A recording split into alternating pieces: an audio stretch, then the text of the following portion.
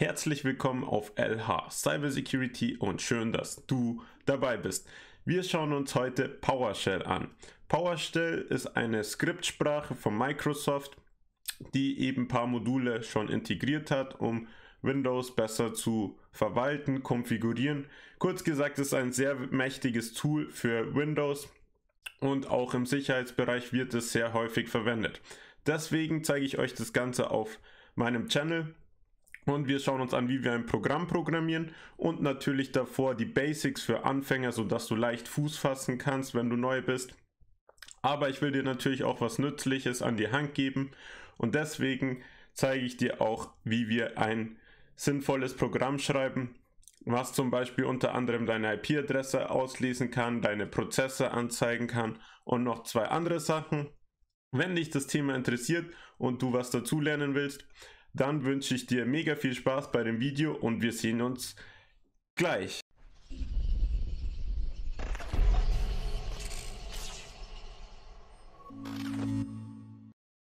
Okay, dann beginnen wir gleich mal.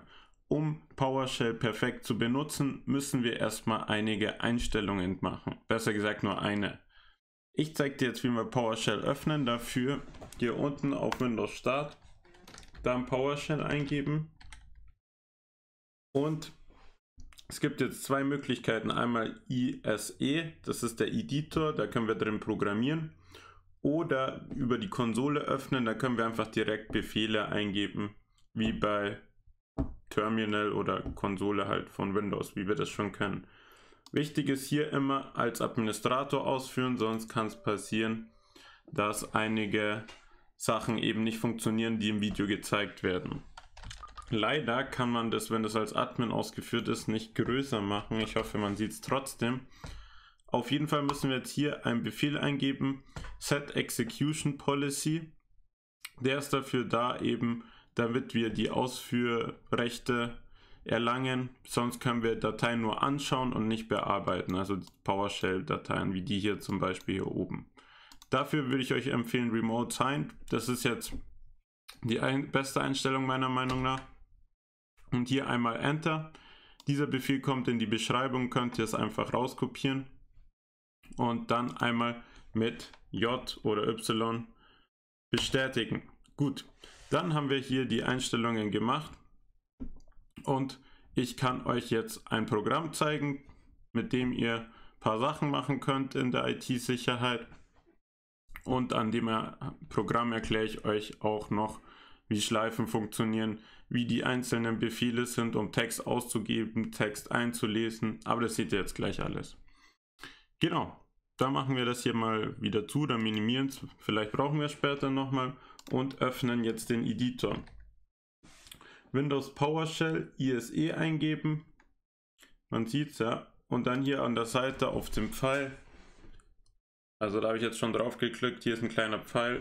Und hier unten Ach, ist das nervig. Hier ähm, bei als Administrator ausführen klicken. Dann wieder Rechte geben und schon komme ich auch wieder ins Bild. Genau. Dann komme ich meine Tastatur. Haben wir hier die Konsole, also dieses Programmierfenster. Ich erkläre kurz, was hier zu sehen ist. Hier eben das Textfeld da unten haben wir dann die Ausgabe, System 32, weil wir es als Admins gestartet haben. Und hier an der Seite haben wir Befehle. Da können wir zum Beispiel IP-Adresse eingeben. Dann sehen wir hier ein paar Befehle und können uns Detail dazu zu anzeigen lassen und auch ausführen. Genau. Das ist sehr praktisch, wie ich finde. Somit kann man leichter programmieren, weil keiner kann sich alle Befehle merken und hier kann man gut nachschauen. Auf jeden Fall habe ich ja für euch schon was vorbereitet und das zeige ich euch jetzt. Hier auf GitHub, Help Tool und das habe ich für euch programmiert. Kommt natürlich auch in die Beschreibung hier. Einfach dann mein Programm hier rauskopieren, rechte Maustaste kopieren und hier einfügen. Das ist der schnellste Weg und dann drücken wir Steuerung S oder hier auf die Diskette, um zu speichern. Und Wir speichern es auf dem Desktop als Help Tool 2. Ich habe das schon mal getestet, deswegen gibt es das schon. Genau, dann haben wir das auch. Und wir können das Programm jetzt erstmal uns einmal anschauen. Und dafür einfach ähm, ja, Rechtsklick, PowerShell ausführen. Aber hier haben wir jetzt wieder das Problem, dass es keine Admin-Rechte hat. Sehen wir gleich 5 hier. Ähm, angeforderter Registerzugriff ist unzulässig. Das heißt, wir haben nicht genug Rechte. Deswegen wieder unser altes Fenster verwenden und hier einfach C User Uber. Bei euch ist es natürlich anders. Das ist jetzt mein Benutzername Desktop und ähm, Help Tool eingeben. Tool 2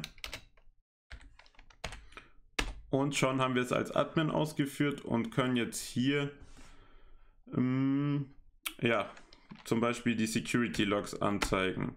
Das sind jetzt ein Haufen, aber ja, wir sehen, es hat funktioniert und vorher hat es eben nicht funktioniert.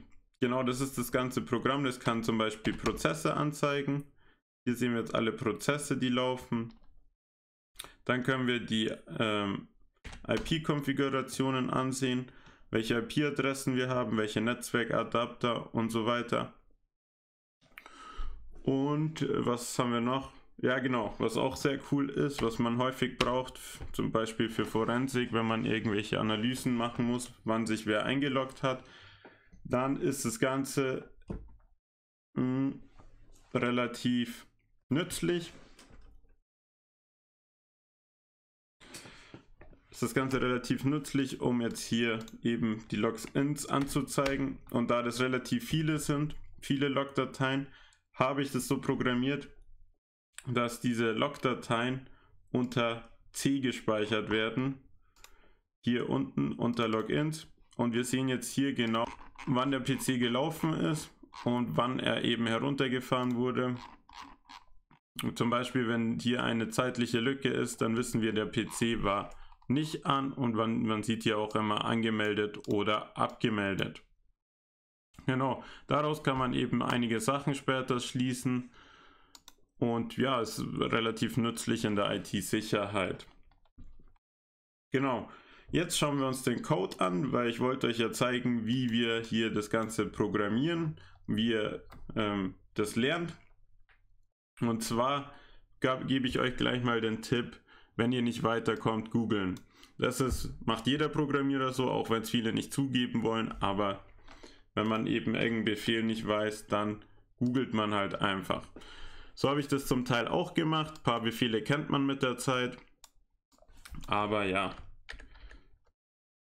ja ich wollte jetzt hier keine Bildschirmgröße machen. Was ist jetzt hier los? Wollte ich nicht. Genau. Steuerung Plus könnt ihr das Ganze vergrößern, wenn es euch zu klein ist. Aber das sind ja jetzt so Basics, dafür musste man jetzt nicht großartig was googeln. Aber als Anfänger muss man doch sehr häufig nachschauen. Gibt einfach PowerShell ein, wie programmiere ich eine Schleife, wie äh, mache ich eine if-Abfrage, wie lese ich äh, die Prozesse aus. Das habe ich zum Beispiel gegoogelt. Get Process ist jetzt zwar nicht so der schwerste Befehl, aber ja, man merkt sich eben die Befehle halt auch nicht alles. Vor allem, wenn man verschiedene Programmiersprachen kann oder Skriptsprachen kann, dann ist das eh immer alles anders. Genau, wir machen das hier mal zu, die Hilfe. Dann haben wir mehr Platz. Okay, gehen wir das Programm mal durch. Also, ich habe jetzt hier einfach eine While-Schleife programmiert, die dauerhaft true ist. Das heißt, dieses Programm läuft die ganze Zeit im Kreis, bis man es eben unterbricht. Hier die erste Klammer bis zur letzten Klammer. Genau, weil wir wollen ja häufiger irgendwas auswählen. Manchmal brauchen wir erst die Prozesse und dann die IP-Adresse. Und wenn die Schleife eben nicht vorhanden wäre, dann wird es eben nur eins anzeigen und man könnte danach kein zweites mehr auswählen, außer man startet das Programm neu, was relativ ähm, ja, unpraktisch ist. Genau, dann haben wir hier eine Eingabevariable und hier wird eben unsere Eingabe gespeichert. Das macht man mit read host und dann machen wir hier ein Prompt. Ein Prompt ist einfach eine Ausgabe. Bitte Zahl eingeben. Das haben wir jetzt hier oben auch gesehen. Ich starte es nochmal kurz. hier bitte Zahl eingeben, das ist das Ganze und hier schreibt er eben diese Zahl, die wir eingeben, in die Eingabevariable. Variablen werden mit Dollarzeichen gekennzeichnet. Dann fragen wir ganz einfach die Variable Eingabe aus, äh, ab und minus EQ ist für ist gleich. So wenn ihr Programmiererfahrung habt, EQ steht für equal und bei C wird es mit einem Doppel ist gleich gemacht, also bei der Programmiersprache C. Dann schaut er eben nach, ob es 1 ist. Das Ganze in Apostroph. Und wenn es 1 ist, dann wird dieser Befehl ausgeführt. Diesen Befehl haben wir ganz am Anfang gemacht, um eben uns ja die Execution Policy richtig einzustellen, also die Ausführrichtlinien. Genau, das könnt ihr auch über mein Programm machen, das habe ich einfach mal einprogrammiert, dann ist es für euch eventuell leichter. Einfach die 1 drücken, äh, Konsole muss oder PowerShell muss als Admin ausgeführt sein, dann könnt ihr euch den ersten Schritt des Videos sparen. Aber ich habe Ihnen trotzdem mal gezeigt, dann lernt ihr ein bisschen mehr. Genau, dann können wir dasselbe, wenn wir hier 2 eingeben, habe ich hier Prozesse programmiert. Also das ist nur die Ausgabe und hier wird es dann immer ausgeführt. Bei Nummer 2 wird der Profil getProcess ausgeführt. Sehen wir jetzt hier, hier werden alle Prozesse eben angezeigt. Sehr cool, wie ich finde. Dasselbe eben hier mit Nummer 3, da werden dann die IP-Adressen ausgeführt. GetNet IP Configuration, also da sieht man die IP-Adressen. Und ähm, bei 4 ist schon etwas komplizierter. Hier kriegen wir Get Event Log. Das wurde dann spezialisiert auf Security, weil es gibt ja auch Application Logs, Event Logs und so weiter. Uns interessiert hier nur der Security Log. Ähm, ja, ab einem bestimmten Datum und hier nur bestimmte ähm, Instanzen. Genau, das Ganze wird eben in eine Datei geschrieben, in Logins.